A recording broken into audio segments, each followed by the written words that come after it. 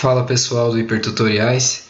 Hoje nós vamos ver como extrair um arquivo em RAR que pede senha sem ter a senha. É um programinha bem simples que ele quebra a senha e ele extrai o arquivo sem precisar digitar a senha. Então o link está aqui embaixo do vídeo para download. Vocês clicam no link e esperam 5 segundos e clicam em fechar propaganda, que é um protetorzinho de link, e aí vocês baixam esse arquivinho para o computador de vocês. Esse é o instalador, é só clicar para instalar, seguir os passos. E o programinha depois de instalado é esse aqui, ó, AHAR. Então, pessoal, eu tenho aqui um arquivo com senha.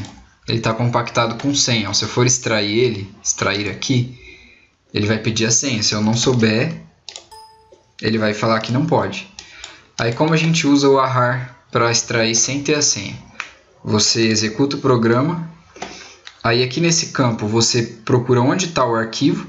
No meu caso está aqui no desktop. Está na área de trabalho mesmo. E esse outro campo é, seria onde ele vai criar a pasta com os arquivos extraídos do, do ponto .rar. Ele já automaticamente deixou para o mesmo diretório, para o desktop. Então vai vir aqui para a tela mesmo. Aí você dá um Start. Pronto ele vai criar, ah, já até abriu a pasta. Ele vai criar uma pastinha com arquivo para você abrir. É isso, pessoal. Quem gostou, compartilha, se inscreva, dê um joinha. Até mais.